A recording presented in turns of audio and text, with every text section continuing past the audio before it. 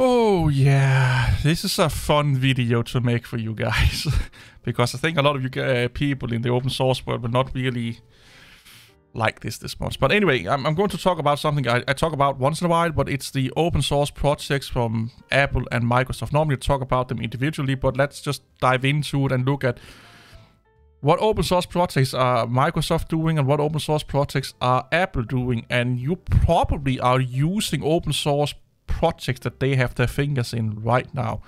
So let's uh, open up good old, um, what is it called? Chrome. And let's look at Apple first here. Apple projects. Open source software is the heart of the Apple of Apple's plat- Apple platforms and developer tools. Apple manages the following projects and encourage your contribution. So Swift. There's a lot of talk about Swift. Well, that's um, an Apple technology. WebKit. You probably are or have used a browser based on WebKit. Apple. We have Research Kit. Uh, for the uh, framework for developers to do research, create powerful app for medical research. We have CareKit, Password Manager Resource, Service Talk, Core ML Tools, and Swift NO, or NIO. And then we have community projects, uh, Apache Cassandra, Kubernetes, Apache Spark, Netty. Um, yeah, you can see these here. So if you go into Swift here, you have a little bit about Swift. You have a little bit about WebKit here. You have a little bit about Swift, more about Swift. So if you go into good old WebKit here, I don't know if you can see what browsers WebKit is. Uh, WebKit is the web browser engine used by Safari, Mail, App Store, and many other apps on macOS, iOS, and Linux. Uh, let's see if we can figure out. Um, uh, it was used by Google Chrome back in the day, uh, and Android before. Let's see if we can find anything else. Installed use USpace. And the browser used in PlayStation 3 was apparently using WebKit. We have ports, forking by Google, uh, JavaScript core. So yeah, the, you probably are using some open source projects that at least Apple have its fingers in. Let's look at Microsoft, opensource.microsoft.com. They have some tutorials here. We have PowerToys, VS Code, Terminal, Playwright, TypeScript, data science for beginners, that's a lesson, IoT lessons, Maui, it's .NET, uh, it's a site or something like that. I don't know what this is. It's something for .NET apparently.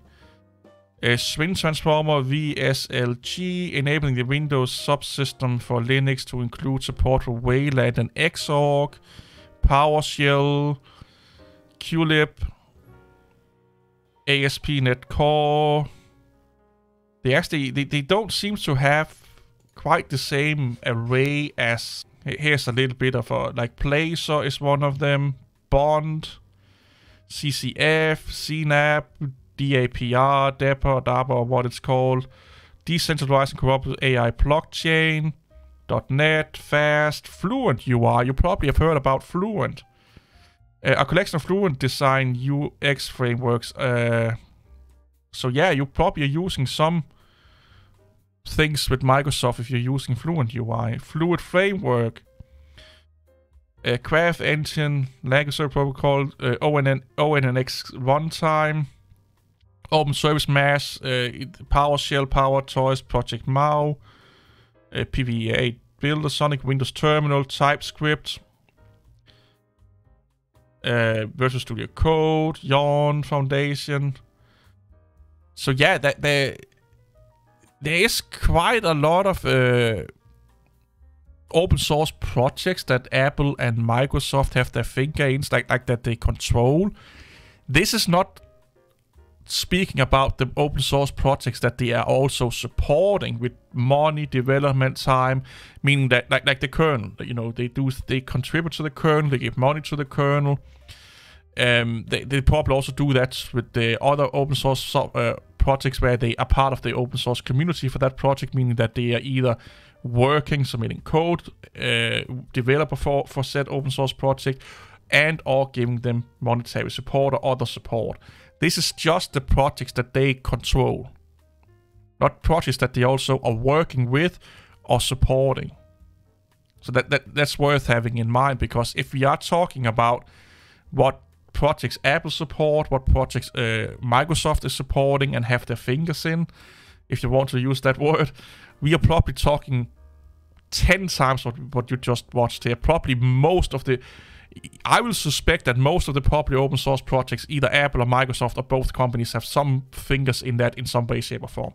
They probably they, they have probably some developers submitting code, bug fixes, or even they are supporting them in some way or another. What am I trying to say here is that well, if you want to live the Microsoft free world with Linux, if you want to live in the Apple free world with Linux, you kind of have to understand how far their dirty long fingers of greed and power reach because you could there's a high chance that you right now are using a project software that Microsoft and or Apple probably are one of the biggest sponsors for either in code development time uh, monetary support you know uh, hardware support and stuff like that so meaning that without the apple support without the microsoft support it could have a negative impact on the project that you are using. There's a high chance of that right now. Just like there's a high chance that you're using things that IBM have their fingers in. So what I'm trying to say is basically it's not a black and white world when, when we're talking I don't want to be in a Google world because Google probably have their fingers in more projects, probably all the projects Google have their fingers in to some extent, like all the big projects.